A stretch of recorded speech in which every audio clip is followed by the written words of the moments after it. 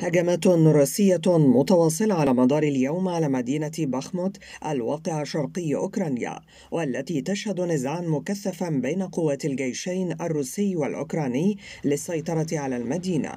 قوة الجيش الأوكراني أعلنت أن قتالا عنيفا دار بينها وبين قوات الجيش الروسي في جميع المناطق على الجبهة الشرقية مضيفة أنها تمكنت من صد تلك الهجمات في أغلب تلك المناطق.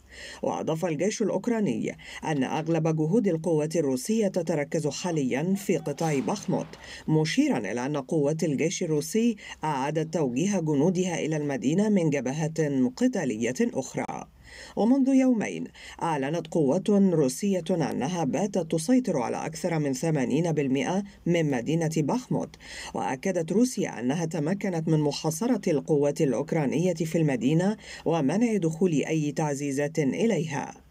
في المقابل نفت كييف تلك التصريحات وتقول إنها تكبد القوات الروسية في بخمت خسائر هائلة وإنها تواصل استقدام تعزيزات عسكرية إلى المدينة ومنذ عدة أشهر أصبحت مدينة بخمت هي محور النزاع المسلح بين الجيش الروسي والأوكراني رغم عدم أهميتها الاستراتيجية لكلا الجانبين.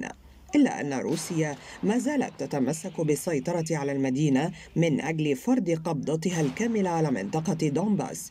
في حين ترد القوة الأوكرانية بمقاومة متواصلة لإلحاق هزيمة رمزية بروسيا على غرار معركة خرسون.